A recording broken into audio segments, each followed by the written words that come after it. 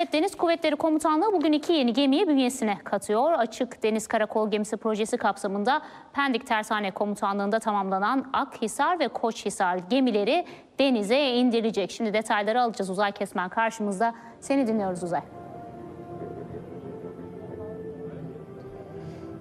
Büşra Açık Deniz Karakol Gemisi projesi Türkiye'nin deniz güvenliği denilince akla gelen en önemli projelerden biri. Bugün de bu projede önemli bir eşik aç- e, aşılıyor. TCG Akhisar ve TCG Koçhisar gemileri bugün İstanbul Tersane Komutanlığı'nda düzenlenecek törenle beraber denize indirilecek. Tören az sonra saat 14'te başlayacak.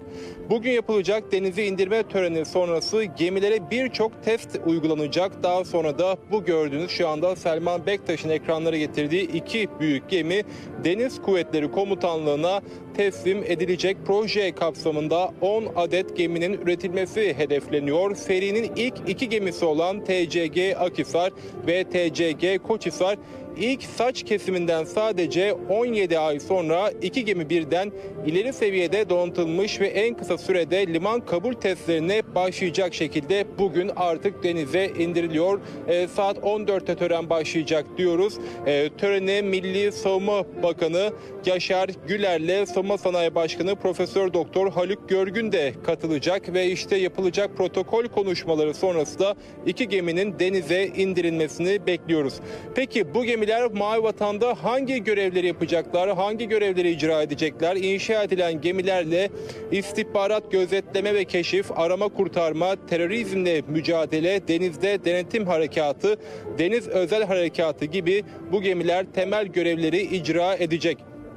Biraz daha teknik özelliklerine gemilerin bakacak olursak TCG Akhisar ve TCG Koçhisar gemileri karada herhangi bir ikmal yapmadan 21 gün boyunca e, denizde Mavi Vatan'da görev yapabilme kabiliyetine sahip. Ayrıca her iki gemide de helikopter ve insansız hava araçlarının kullanımı içinde birer pist bulunuyor. Bunu da ekleyelim. Şu anda e, Selman Bektaş'ın göstermiş olduğu bu büyük iki geminin hemen önünde bir protokol çadırı tören alanı oluşturulmuş durumda. İlerleyen dakikalarda saatler 14'ü gösterdiğinde bu protokol çadırında başlayacak törenle beraber de gemilerin buradan e, denizle buluşmasına şahitlik edeceğiz. Milgem ada sınıfı baz alınarak tasarımı geliştirilen açık deniz karakol gemileri daha sade silah ve sensörlerle donatılmış durumda. Her iki gemide de 76 milimetrelik baş topu bulunuyor. Ancak e, istenildiğinde silah ve sensör yükünün de artırılması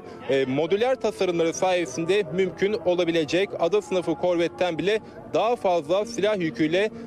donatılabilecek şekilde gemilerde dizayn edilmiş durumda. E, tam boy 99 e, metre, genişliği ise gemilerin 14 metre ve denizde Mavi Vatan'da 24 knot hıza kadar da bu gemiler çıkabilecek.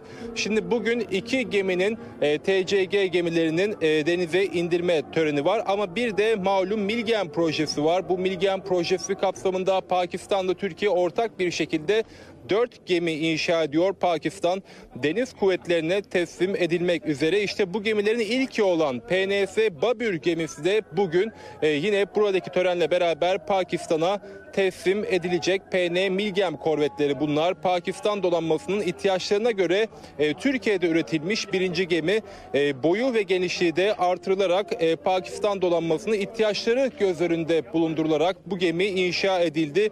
E, Türkiye'de İstanbul'da tersanede ve bugün bu gemide artık dediğimiz gibi Pakistan'a teslim edilecek.